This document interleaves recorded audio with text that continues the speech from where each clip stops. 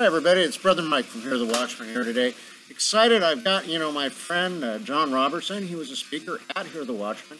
He's a frequent guest on the Hagmann Show at Hear the Watchmen. He did a wonderful presentation, sort of about the uh, how Satan affects us through Hollywood. It was called All Roads Lead to Babylon. But today, uh, we're going to talk a little bit about why it's so important for all of you to get on board with the communitywatchmen.org.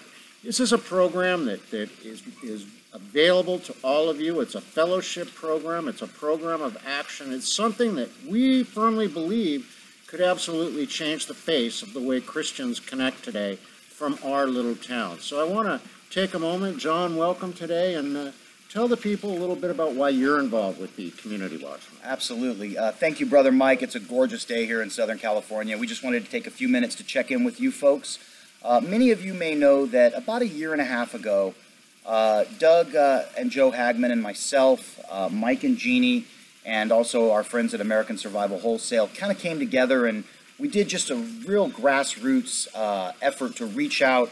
I liked the way Doug phrased it on air when we first uh, introduced the project, the project being HH Connections. He said, you know, it's just like like shaking hands with someone in the foyer at church or or reaching over your backyard fence to greet your neighbor. And so uh, in January of 2015, we launched HH Connections, and it was uh, it was a lot of work, but it blessed thousands of Hagmann listeners uh, with not only fellowship but the planting of some home churches and. And we learned a lot from HH Connections. And what we've done essentially is we've brought in some, some real professionals, uh, some military uh, uh, men and women to help us head this thing up. And we're really kind of taking the spirit of HH Connections, but bringing it into the 21st century uh, technologically. Well, Jon, let me ask you this. Where do you see uh, this effort, the Community Watchmen, differing from HH Connections? Because as I remember yeah. HH Connections, it was kind of a let's just connect and socialize with each mm-hmm. other in different parts of the country. How does how does the Community Watchmen differ from that? Well, thank you for asking that question. It's a great question, and uh, it's a multi-answer question. First of all, uh, there will be uh, a there will be a, an infrastructure to community watchmen that HH Connections lacked. Uh, starting with uh, our brother, uh, Pastor Flip Benham, who's agreed to serve as the spiritual advisor to the project, meaning that with all questions of doctrine, including our faith statement, that, uh, that Pastor Flip has offered his services to uh, just help us keep a, a tight doctrinal um, approach so that everybody is, is coming together, you know, with, with similar beliefs that we would consider the, the salvation beliefs.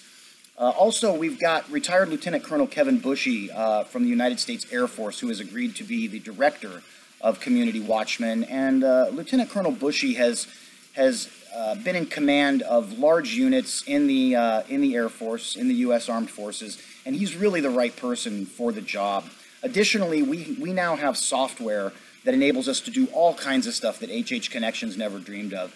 Uh, first of all, it will make the connection uh, process flow so much more smoothly. There will also be a vetting process so that we are certain that we are offering a fellowship platform to like-minded people, to Hagmann listeners, to Caravan to Midnight listeners, etc.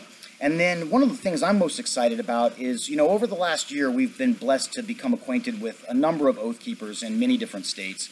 And we're going to borrow some of their infrastructure from them. Uh, as I mentioned a moment ago, there will be a statement of faith that will serve in a similar manner to their uh, to the oath that they have, the 10 point oath on the back of their business cards. And we will also eventually be rolling out a curriculum and offer some training programs that'll cover all manner of both spiritual and preparedness topics. That's good. So we're actually going to, the, the community watchmen is, is really going to be kind of a boots on the ground uh, Definitely. Uh, kind of thing. And we've, we've talked about that. You know, we're also, folks, really excited about the fact that we're working with Coach Dave Daubenmire mm-hmm.